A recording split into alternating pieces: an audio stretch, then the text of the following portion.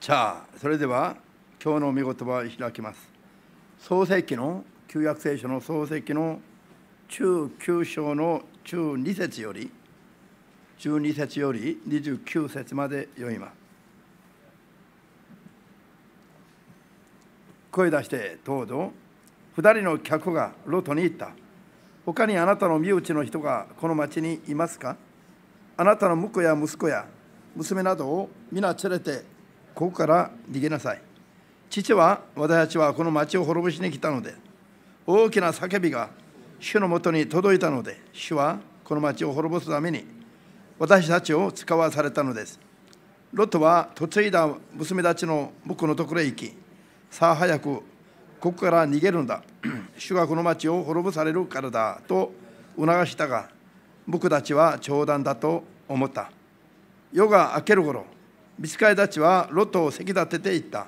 さあ早くあなたの妻とここにいる二人の娘を連れて行きなさい。さもないとこの町に二人鉢の巻き添えになって滅ぼされてしまう。ロトはためらっていった。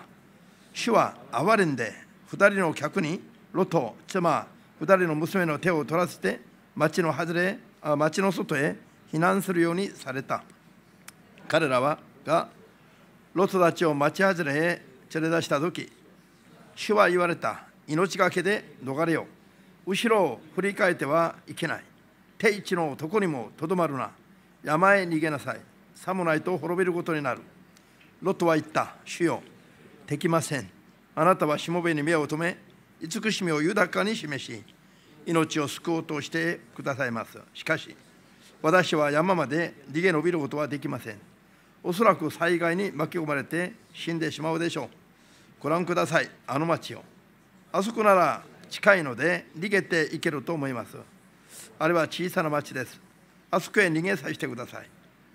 あれはほんの小さな町です。どうか。そこで私の命を救ってください。主は言われた。よろしい。そのこともあなたの願いを聞き届け。あなたの言うその町は滅ぼさないことにしよう。急いで逃げなさい。あなたがあの町に着くまでは、私は何も行わないからだ。そこで、その町はチャール小さいと名付けられた。太陽が地上に昇った時、ロットはチャールに着いた。主はソドムとコムラの上に、天から主のもとから異様の火を降らせ、これらの町と定地一帯を、町の全住民、地の草きもろとも滅ぼした。ロトの妻は後ろを振り向いたので潮の柱になった。アブラムはその朝早く起きて、先に主に主と対面した場所へ行き、ソドムとコムラおよび定地一帯を見下ろすと、炉の煙のように地面から煙が立ち上っていった。こうしてロットの住んでいた定地の町々は滅ぼされたが、神はアブラムを見心に留め、ロトを破滅のただ中から救い出された。アメン。さあ、祈ります。今も生きておられる主なる神様。主の身元に近づいた私たちは、主が生きておられることを信じます。創世以前の計画と約束に基づいて、すべての世界を治めておられることも信じます。信仰によって近づく人々に必ず報いてくださることも信じておりますから。この礼拝をとしてさらに献身できますようにまずは主の精霊の力を必要なだけ満たしてくださり良い生きる間にもあなたの栄光となりまして世に光を放っていること信仰にしっかりと立つことができますようにこの礼拝全体をとして導いてください。私たちが地上に生きる間には主の栄光として信仰を守り抜き使命を果たして我々に対応すべての人々を主が計画されたすべての人々を必ず救い出して共に主の意に備えていくことができますよ助けてください。いまだに主の皆を知らずに信じずに滅びに道滅びの道を歩んでいるすべての人々が一刻も早く共に見舞いに集うことができますように福音伝道の道を平らに開いてください。生ければ生きるほど地上での生活が冠を天に積んでいくことになりますよう一人一人を古い立たしてください。イエス・キリストの皆でお祈りいたします。アーメンハレルヤえっ、と1960年度の末に68年か9年ぐらいだと思いますが北朝鮮からナンパされて韓国の大統領の首を取ってこい。韓国の大統領の首を取ってこいと命令を受けて韓国に北朝鮮からスパイが、えー、送られました。2人か1人は逃げて全部射殺され1人だけが逮捕されました。その生き残った1人逮捕された1人があとイエス様を信じて牧師になります。その人の名前は金信女という牧師なんだ。この方は奥さんがクリスチャンだったのでああ初めは韓国での生活が慣れず酒を飲んだり暴れたり奥さんに暴行を加えたりイエス様でイエス様で天道する奥さんをいじめたりしたんだけどもついには彼もイエス・ギトに出会いまして牧師にまでなります。彼が牧師になってから考えたら本当に世の人々がかわいそう。それも北朝鮮から来た自分のような生まれたところを離れて南に来ている人々まあ来るのは来ても慣れないところもあったり大変、なところもあったりするからかわいそうに思って彼らをまず伝道しよう。自分のようにイエス様に導こうと思って伝道したんだけどもご存知のように伝道は思ったからすぐ簡単にできるもんじゃない。ほとんどの人がかくなで顔は優しく見えてもいざイエス様の話を持ち出したら笑いながらも拒否する。人の中身はかたくななままである。だからなかなか伝道ができない。難しい。ことに気がついた彼の彼が取った伝道の方法が一つあります。いくら言っても聞かないから彼はついにはこういう伝道でやってみようと。思って彼が工夫した伝道の方法は何かというと伝道したい人の家にいくら言っても聞かない人の家に行って私が北朝鮮からタイトルの首を取ってこいと言われてナンパされたスパイであると知らないのか。私は人の命を潰すのは簡単だ。お前らも教会行かないと殺してしまうよ。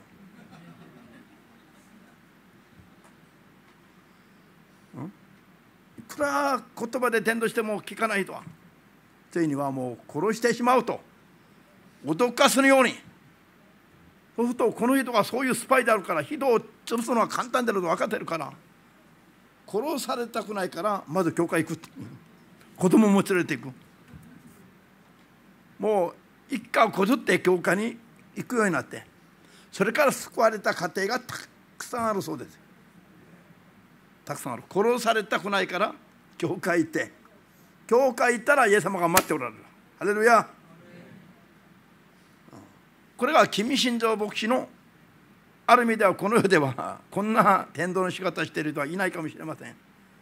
独特な脅かしのようなこの天道の仕方がに効き目があったと証しをしてる。証しを。悪意を抱いて本当に脅かすつもりで殺すつもりでそういう手段を取ったならば通じるはずがない。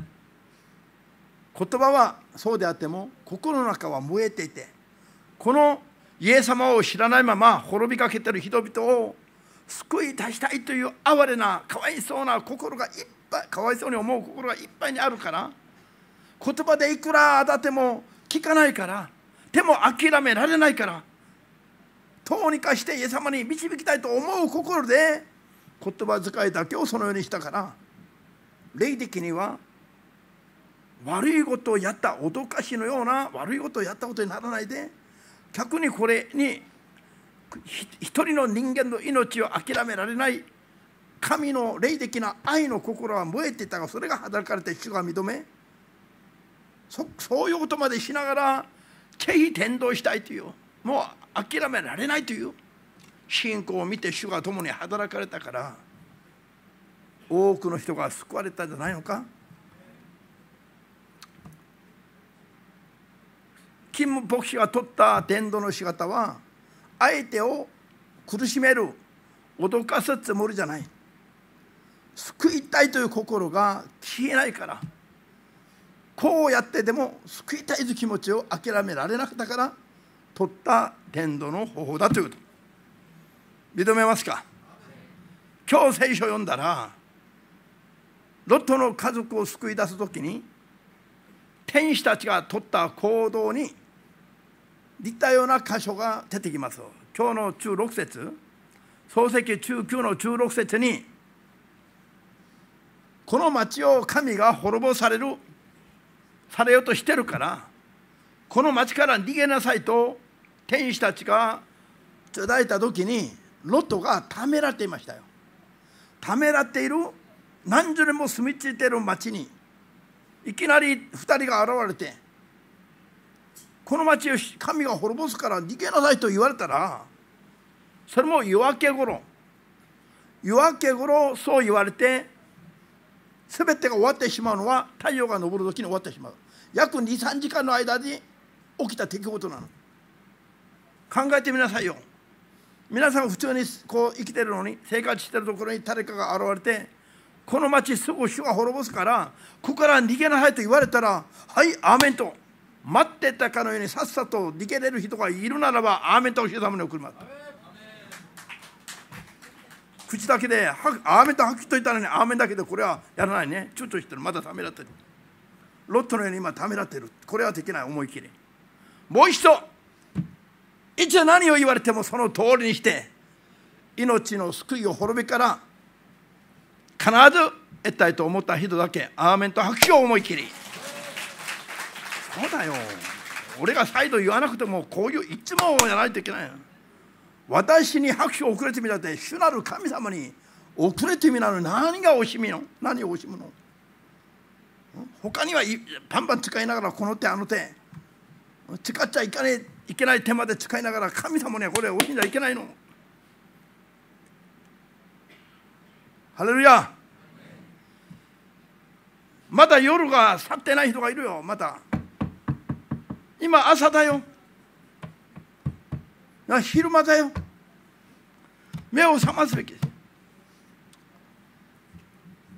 ロトがためらっていったら天使たちが急ぐんだと。急いで逃げなさいって。しかしためらってるのもこれよ。皆さんが前後を見てるからロットの信仰はやっぱりためだと思うかもしれませんがロットのように手を取って反強制的に立たれた時にそれでもついていく人がどれぐらいいるの？実際に今住んでたところを離れることなんだよ離れること。ただ半分失敗したような過程としてここに記録されてるからロットの信仰はいい加減だと思ってるでしょうけどもこれも今日の信者たちに比べれば相当すごいレベルなの。すごいレベル。わかりますか？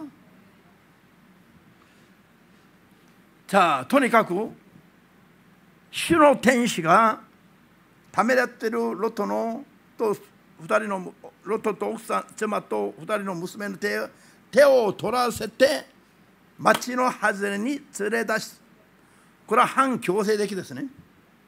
反強制的。躊躇している人を手を取らして反強制的に連れ出すの連れ出す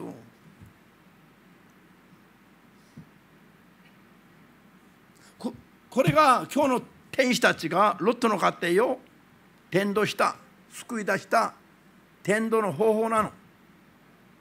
ロットの信仰が言葉で間に合わないの。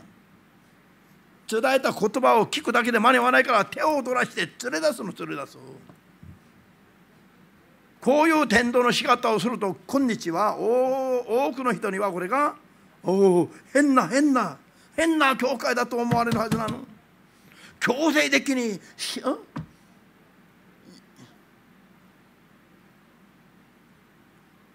そう思われるはずであります。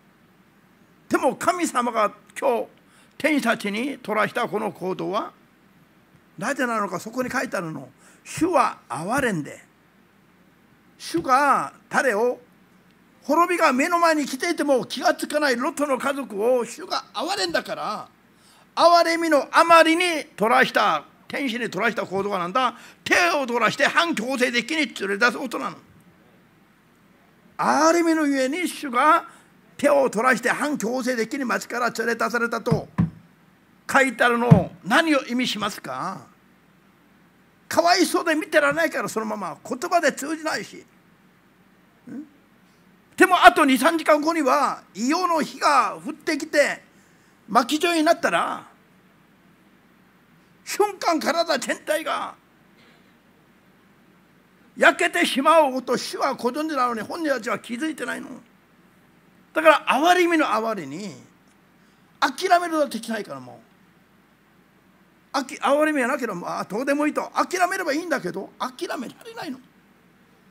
諦められないからかわいそうでたまらないから手を取らして反強制的にまで無理にでもそこから連れ出されたのが憐れみの愛の結果だと愛しているからあなたを諦められないからうるさく言ってるんだと。信じればアーメンとお者様に本気で人々のレベルの礼儀正しさはそういう段階で通じればいいんだけどもそういう段階でも通じなければどうする？強制的の無理やりでも天として助け出さないといけないのがこれは悪いことじゃないの。愛していて諦められないからよ。自分が行く道分かってながら滅んでいく人々を見て見てられない。かわいそうでたまらないから諦められないから熱い心こっちの気分のためだって相手の運命がかわいそうだから必ずそこから救いたいから天から来た2人の天使は神がこれからソドムとコモラの町に何をされようとしてるか聞いて分かって伝えてるの。伝える人がちんぷんかんぷなこと伝えてなくてこれから起きることになってることを今前もって伝えてるから。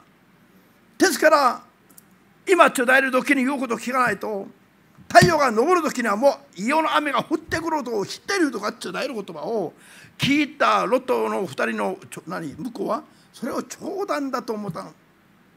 この世しか知らない人々には神が遠のこの滅びが遠のこの救いが遠のこの天国地獄いたらたわごとのように聞くから笑ってしまうの。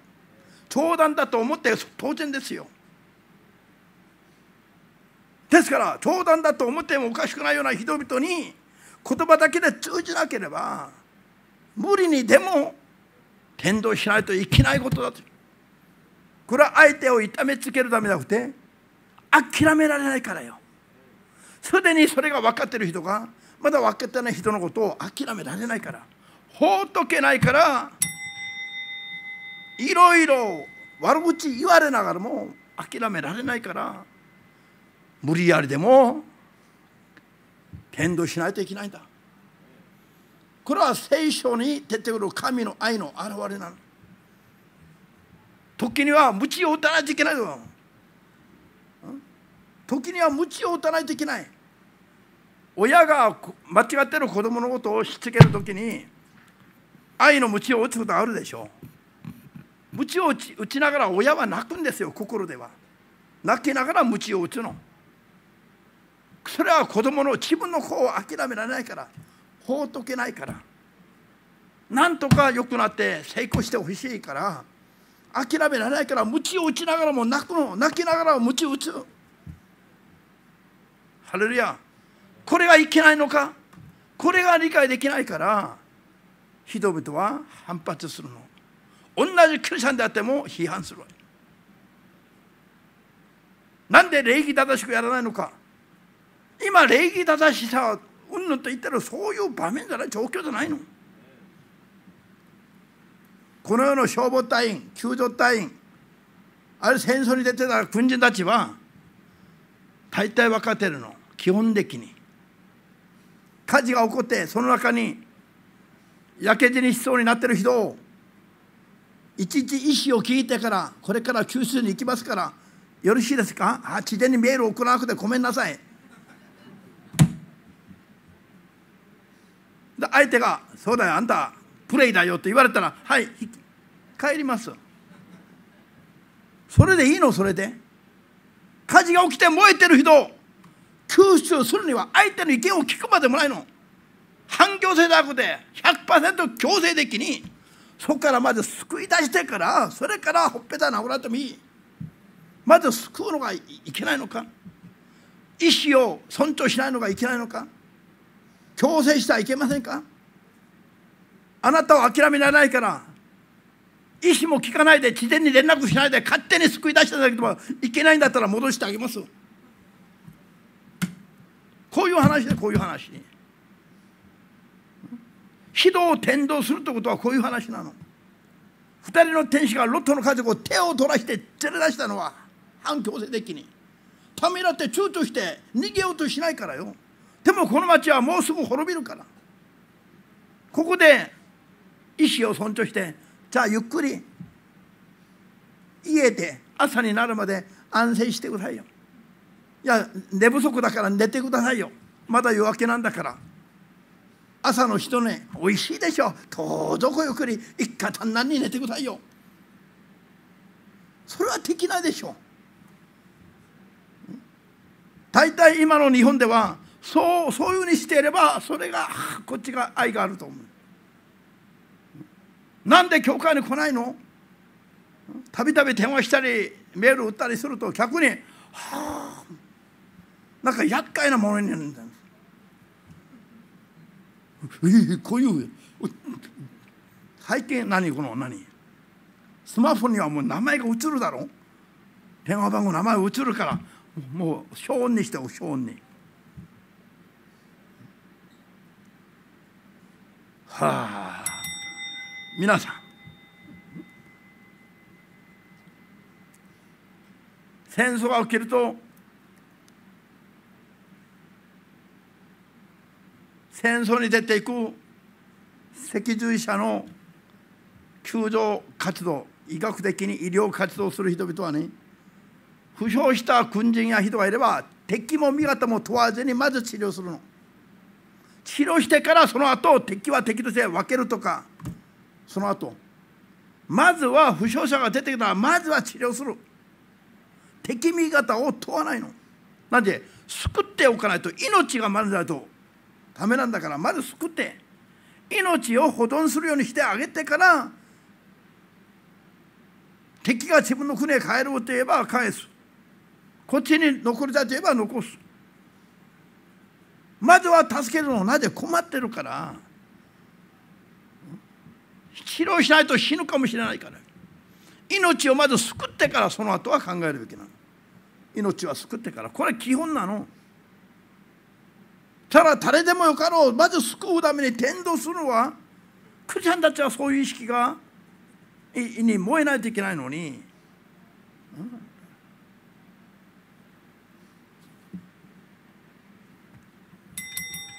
ハレルヤ。まだ意識が朦朧としてるの？これを見つめなさい。これをこれ。ここに牧師の唾がどれぐらい飛んでいくのか。ちょっと見てちょっと一つ集中しないと眠くなるよ。ハレルヤ隣に聞いてみてよ。あなたを諦められないから。愛してるから。あなたが悪くなを倒れるの滅びるのを見てられないから。頑張れ頑張ってる言ってるのに。それがいけないの？なんで言わないの？隣に。隣普段隣が怖かったからだよ。普段隣が怖いからね顔も向けないでしょ。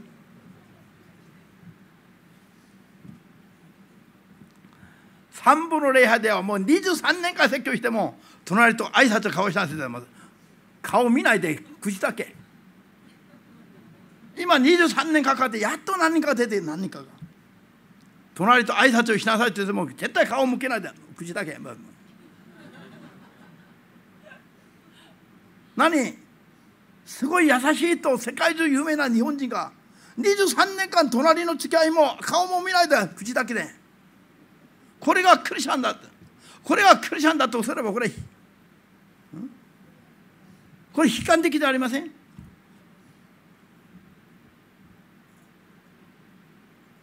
もう一度あなたにうるさい時があるあるかもしれませんが分かってくれよ。隣に向かって隣に。あなたが滅んでいくのを見てられないからだ。諦められないからだ。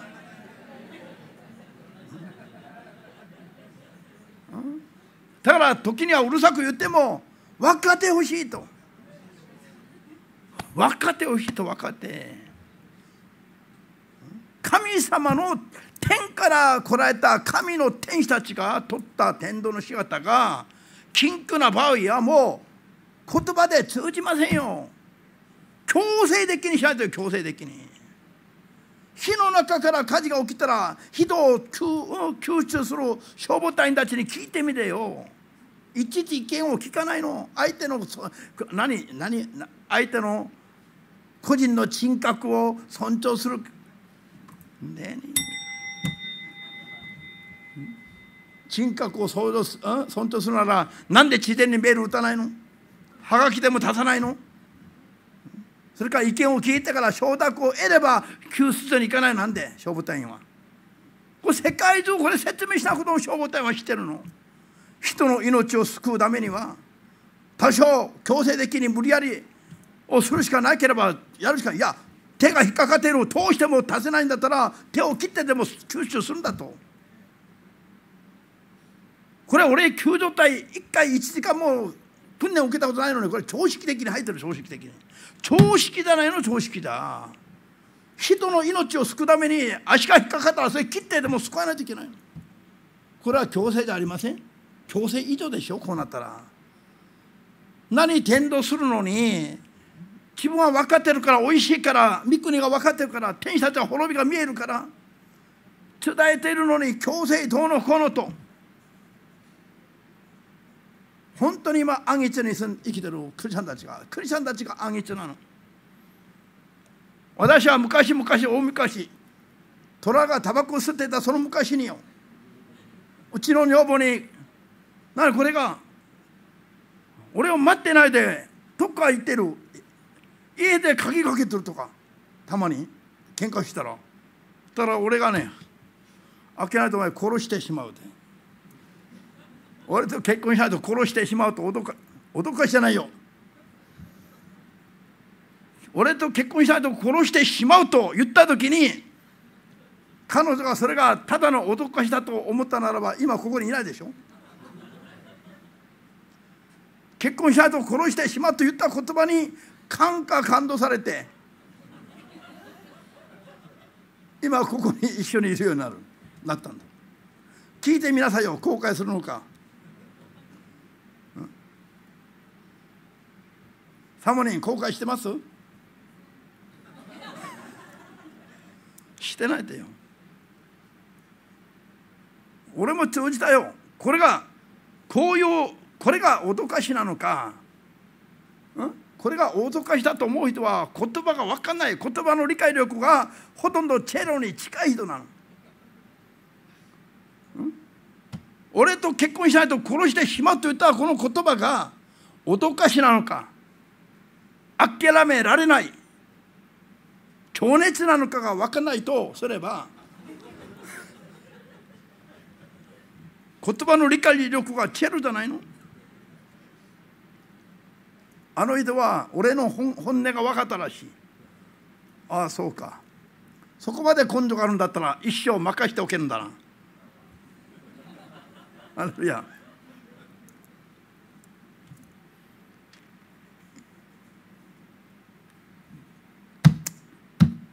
神の愛情が聖書にこういうふうに記録されています。神の愛情が。神はご存知なの。火事の中から肉体だけ身体だけ救出する。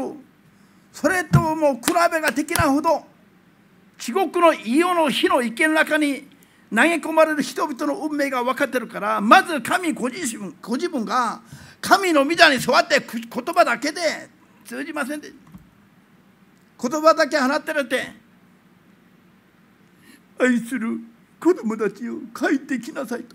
泣いてばかりられなかったの。御座を捨てて地上に行きました。最悪最低の環境に。それから十字架の死に至るまで耐えられない試練を受けながら我慢して終わったの。まずご自分がよ。なんで地獄に行く人々を自分の子にするために作った人々が地獄行きになっていったのを見てられなかったからこれがいけなかったと思いますか？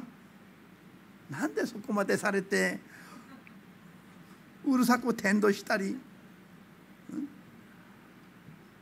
ビール飲みながらタバコ吸いたいのになんで一時干渉されますかと。昨日もある人が聞いた。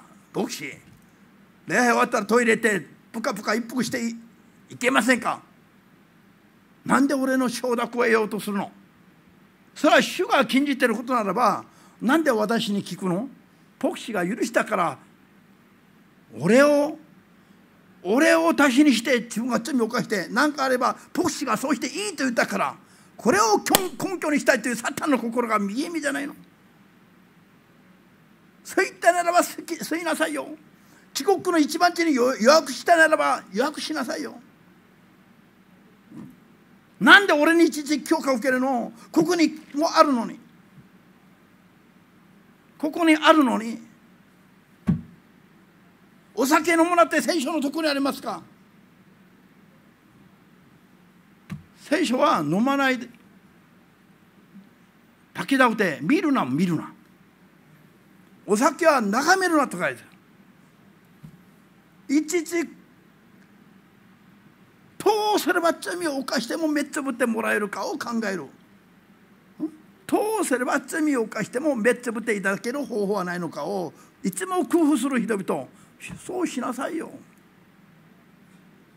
それも一生懸命すればいいじゃないの。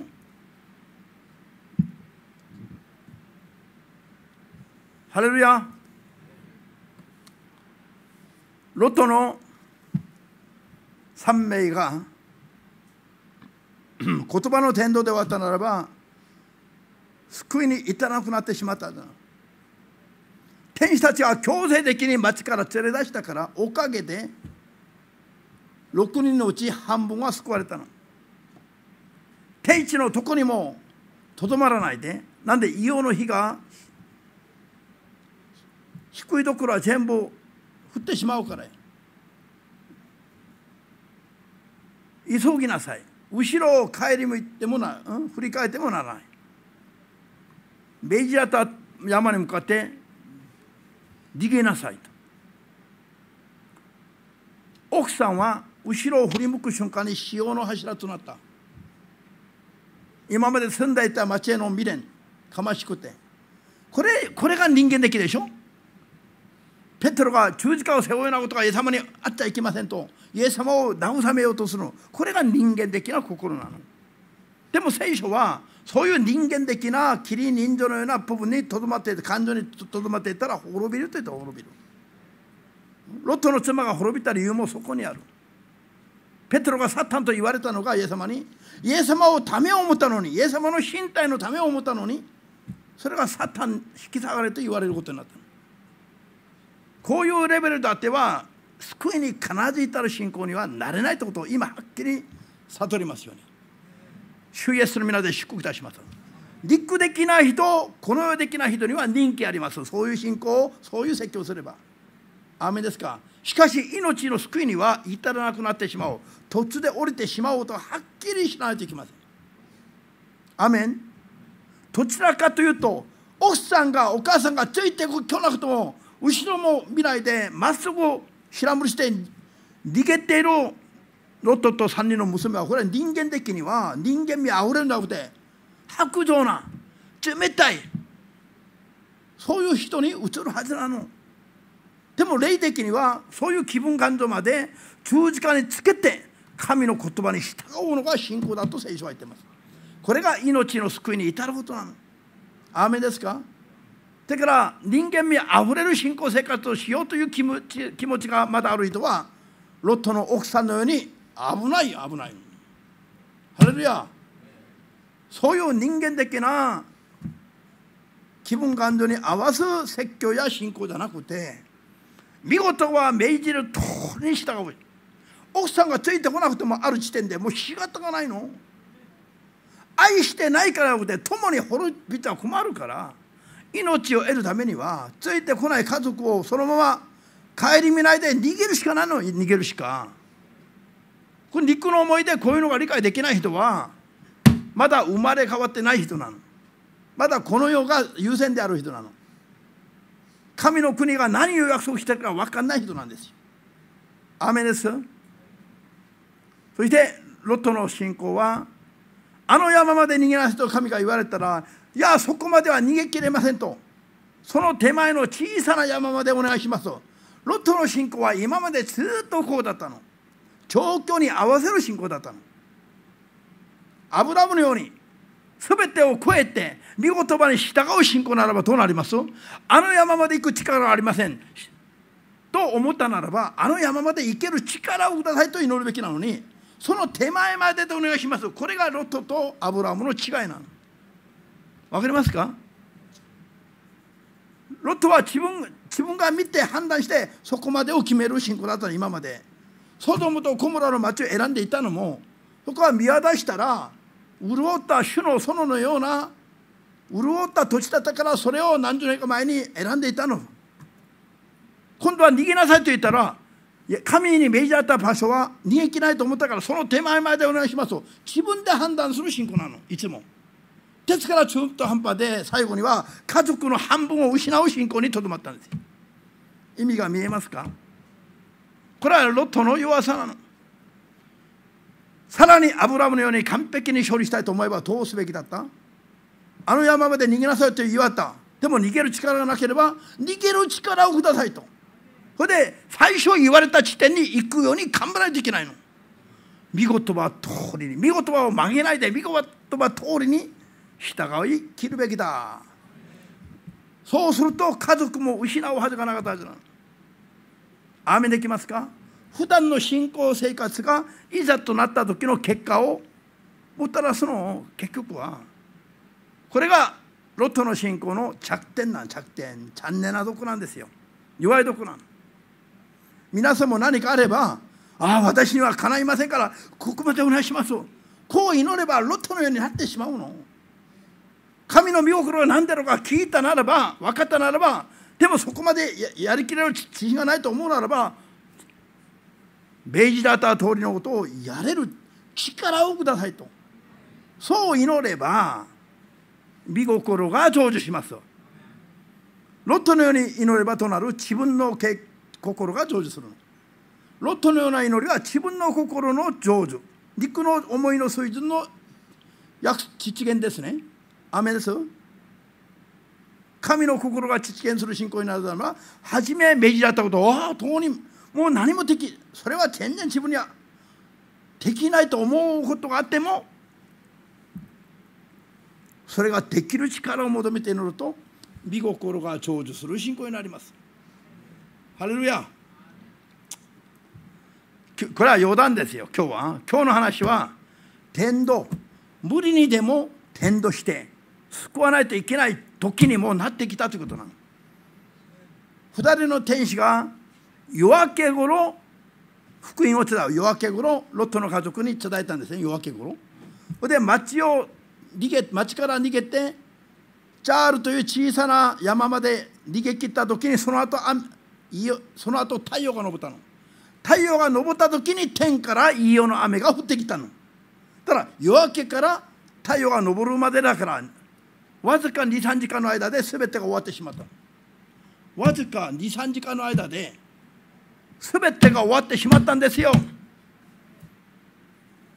ぐー寝てる時に多くのものが過ぎ去るの。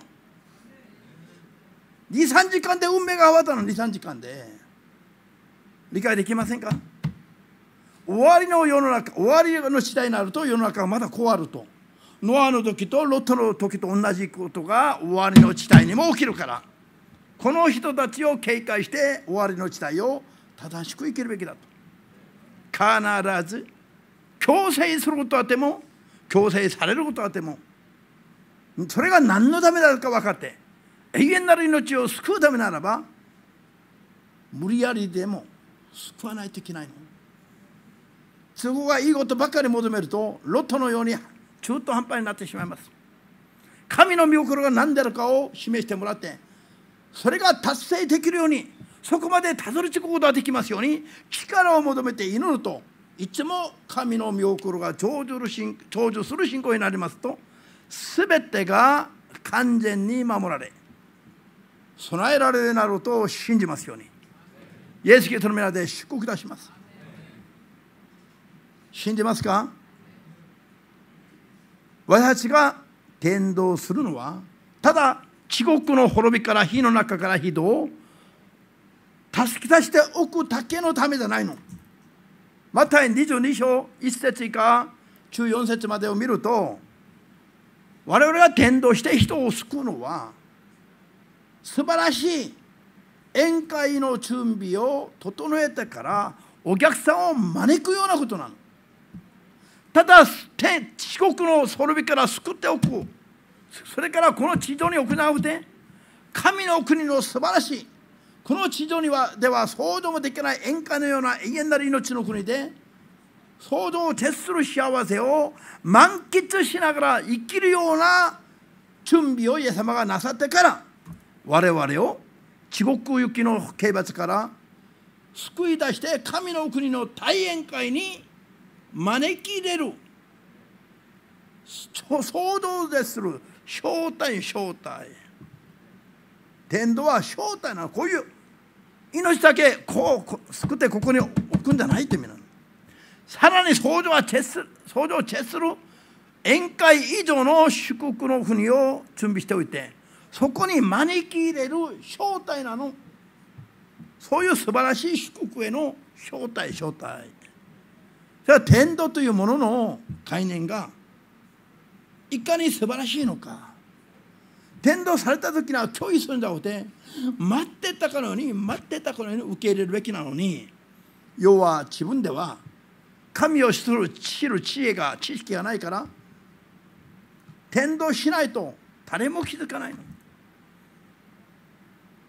ハレルヤですら天道すべきだし天道は無理にでもすべきだと。無理にでもすべきなの。子供が生まれたら自らああ時が来るとああ私と小学行く高校行く。大学行く。分かるようになれば自分でありますが分からないうちには親が強制的に全部スケジュールを作って強制的に保育園も幼稚園も小学校もこれは子供の意思とほとんど関係ないの。全部親の一方的な子供の意見や人格を考えないの。しかしそれが無視するんじゃなくていい方向へ導くための親の間なんでしょ。当然ですよ。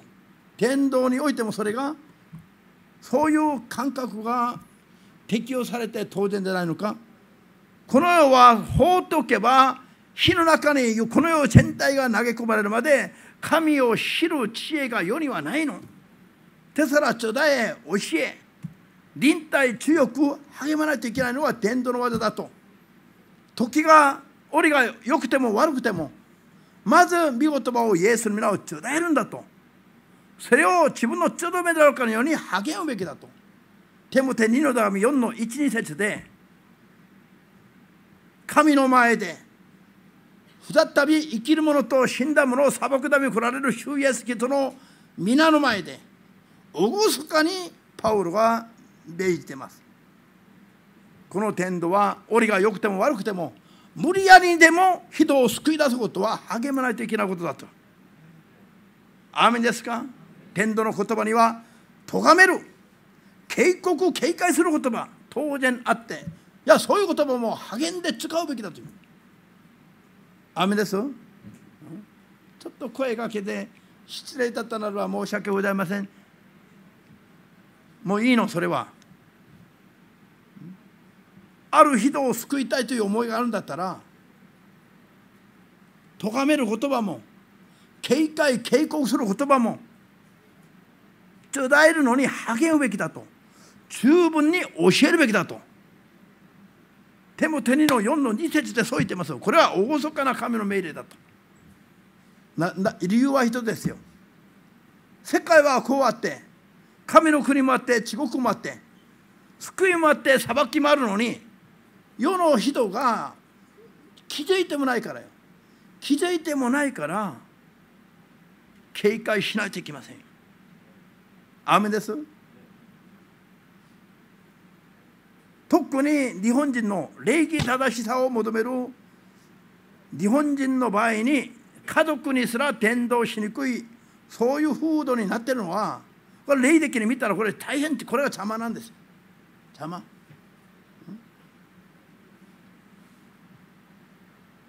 呼ばれなければ人の家に絶対遊びに行けないこの日本の風土。韓国はね呼ばれなくても平気で夜中でも行くの。なんで来たのと絶対言われないから。あ遊びに来たよってじゃあ寝つきが悪いから来たと言えばあそう。入りなさい。なのに日本は今度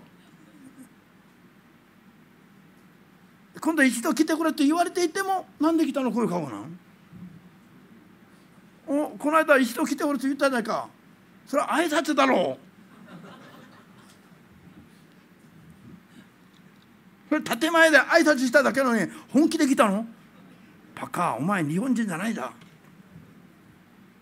こういう意識がある限り天道ができるのか？今日聖書的なこういう天道がこういう意識を持った皆さんにできますか？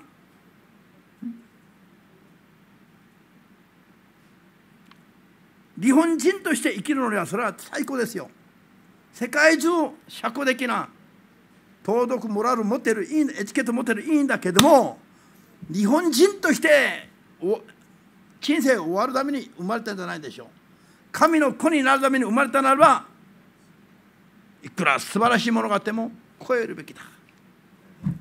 出てくるべきだ。それで最終的に我々がたどり着くべき神の御国にふさわしく生き方を変えるべきだ。知識も常識も新しくすべきだ。当然生き方も身分も新たになるべきだ。これが伝道ですよ。伝道は伝えないと知らないから気づきもしないから。気づかないのを通して信じることはできるの？聞いてないのを通して信じることはできるの？だからまず教えて聞かすの。すぐさま信じなくても情報が入るといずれかは信じたくなることもあるからよ。だからまずは伝えるのまずは。ハレルヤ。アメン。それぞれの国民族から生まれた常識知識モラルエチケットなどの社会的な習わしに基づいて聖書を読んだり説教を聞くと天然合わないところいっぱいあるはずなの。根本的に合わないから。根本的に嫌になってしまうところはなければおかしいの。聖霊に満たさないと理解できないこといっぱいあります。しかし聖霊に満たされたら国も民族も言語も超えちゃうからよ。感覚が神のレベルに変えられるから全てをアーメンと吸収できますけども聖霊に満たさなければ一時気分感情思い心を考え方にとらわれるの。だったら引っかかるしかない引っかかるしかハレルヤ。皆さん時として今は無理やりでも転倒して人を滅んでいく人を救い出すべき事態にもなってきたの。ね、皆さんの中からも霊的に神から交わる中で示してもらう人は示してもらっている。これは牧師だけが言ってる主観的な話じゃなくてこれはある話客観的な話なんだってことなの。今はもう無理にでも転倒してとにかく御国をイエスの皆を福音を伝えて時には咎め立てる言葉でも使うべきだ。強制的にも天道すべきだ。それで十分に知らないまま滅んでいくとかわいそうだから教えることだ。聞かない人が信じることはまだ無理な話だからありえない話だからよ。初めは聞いていて抵抗があってもついには開かれて受け入れることになる。ですから忍耐が必要な忍耐があこの人ね何度も声かけたけどもうダメだった。諦めちゃうの。自分が人に自分が神にそう簡単に諦められたらどうなるでしょう。生まれて今まで何十年も何十年も主が待っていてくださったからここまで来れたのに何度かで主が諦められたら私も私すらもここに立てられない。神様にそう簡単に諦められたら私と皆さんの運命はどうなるでしょう？忍耐深く主は待っていたおかげで今日の私たちがいるように我々も天道何とか声かけてもダメなんですよ。あもうこの人には声かけません。電話番号も消しました。電話番号も消しました。あなたの名前が天の御国でそのように削除されたらどうなりますか？ね皆さん自分の名前が何度言っても神に聞かない場合神の国で命の書から自分の名前が何度かで簡単に消されたらどうなりますか？それでもいいと思う人は私に声かけてください。祈ってあげるからそうなりますように。ここ祈ってあげるから特別。